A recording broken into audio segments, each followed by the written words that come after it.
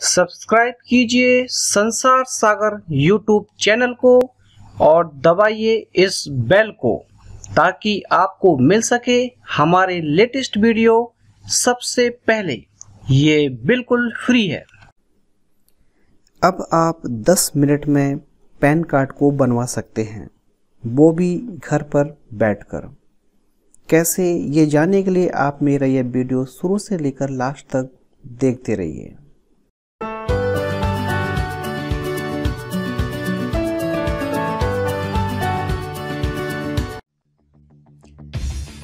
संसार सागर में आपका स्वागत है।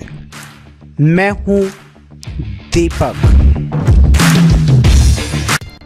सबसे पहले हम कोई भी ब्राउज़र ओपन कर लेंगे। जैसा कि मैंने यहाँ पर क्रोम ब्राउज़र को ओपन किया हुआ है। ये ऊपर इसका एड्रेस बार दिया गया है। यहाँ पर हम टाइप करेंगे e filing e filing type करने के बाद इंटर कर देंगे। और जैसे ही इंटर करेंगे, एक नया पेज ओपन हो जाता है। यहाँ पर बहुत सारे ऑप्शन दिखाई देते हैं। यहाँ पर लिखा हुआ है पैन कार्ड यहाँ पर माउस पॉइंटर को लाते हैं और क्लिक कर देते हैं।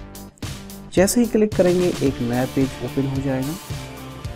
यह ई फिलिंग की वेबसाइट है। यहाँ पर आप घर पर बैठकर 10 मिनट में पैन कार्ड को बनवा सकते हैं।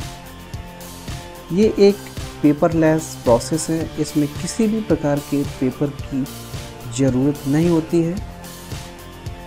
आप अपने आधार कार्ड के द्वारा पैन कार्ड को बनवाते हैं। वो भी 10 मिनट में। आप इसकी वैल्यू फ़िज़िकल पैन कार्ड की ही तरह होती है। आपके आधार कार्ड में मोबाइल नंबर का लिंक होना ज़रूरी है। यहाँ पर दो बटन दिए गए हैं गेट न्यू पैन और दूसरा है चेक स्टेटस डाउनलोड पैन यहाँ पर आप आधार कार्ड को बनवा सकते हैं और उसके बाद आपको एक नंबर दिया जाता है उस नंबर के द्वारा। आप अपने पैन कार्ड को चेक कर सकते हैं और डाउनलोड कर सकते हैं। यहाँ पर मैं पैन कार्ड बनवाने की बात कर रहा हूँ। जो कि आधार कार्ड के द्वारा बनाया जाता है। तो यहाँ पर हम क्लिक करते हैं। जैसे ही हम क्लिक करते हैं, एक नया पेज ओपन हो जाता है। यहाँ पर पाँच स्टेप में आप बड़ी आसानी से पैन कार्ड को आधार कार्ड के द्वारा बनवा सकते हैं। यहाँ सबसे ऊपर दिया गया है आधार नंबर। यहाँ पर आपको आधार नंबर लिखना होगा। उसके बाद ये कैप्चा दिया गया है। यहाँ पर हम कैप्चा को एंटर करेंगे और यहाँ पर हम चेक मार्क करेंगे। यहाँ बताया गया है कि आपके पास पहले से पैन कार्ड नहीं होना चाहिए। आपका मोबाइल नंबर आपके आधार कार्ड से लिंक होना चाहिए, क्योंकि उस पर ओटीपी आता है और ओटीपी को हमें फिल करना पड़ता है। आपके आधार कार्ड में डेट ऑफ़ बर्थ होनी चाहिए। आप माइनर ना हो और आप इन सारी टर्म्स एंड कंडीशन को फॉलो करते हों। तो यहाँ पर चेक मार्क करने के बाद आप जैसे ही जनरेट आधार ओटीपी पर क्लिक करते हैं आपके मोबाइल नंबर पर एक ओटीपी आता है।